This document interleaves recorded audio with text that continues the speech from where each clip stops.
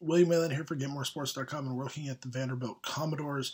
Uh, Kevin Stallings Group is an offensive juggernaut right now because of the improvement that they've gotten uh, from a lot of kind of peripheral players. Uh, it, it's not just the Damian Jones and Riley LaChance show like so many people, including myself, anticipated uh, with this group. What they're doing is impressive. They're moving the ball. They're able to shoot from deep.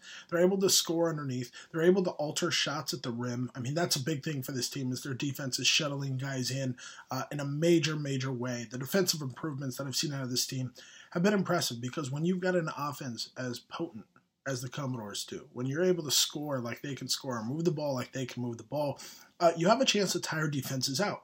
And then when you make them work on the offensive end, that's where you really tire the defense out. That's what a lot of people don't realize is when you can get a team tired on one end of the floor, it's going to affect the other way.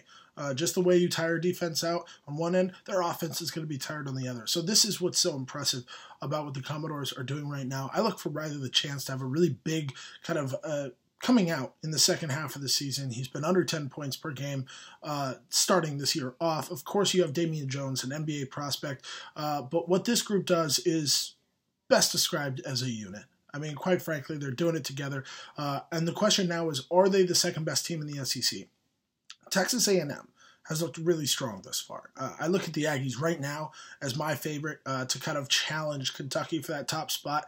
Uh, even if I don't know that Kentucky is completely susceptible uh, to be upset and overtaken in the conference race, but I do think if anybody's going to do it, it's going to be A&M or Vandy. Uh, if Vandy wants to do it, I do think LaChance is going to have to kind of step his game up a little bit. I love the balance, but you need your stars to play their best when you want to challenge for a conference crown, especially when you're going up against a team and a program like Kentucky.